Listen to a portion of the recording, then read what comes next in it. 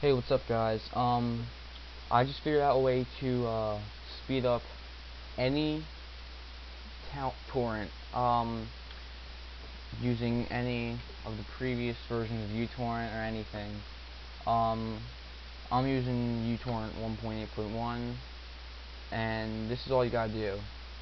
So just select what uh, torrent you want to speed up, right click it, go down to bandwidth allocation and it should usually be set for normal but you want to go and set it as high.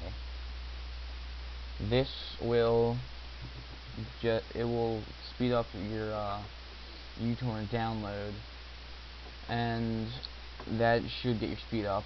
Um hope this helps you guys out.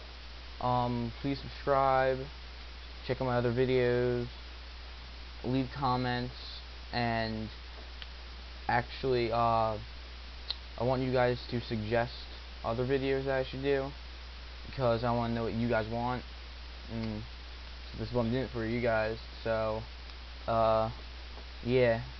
Hope this works. Alright. Peace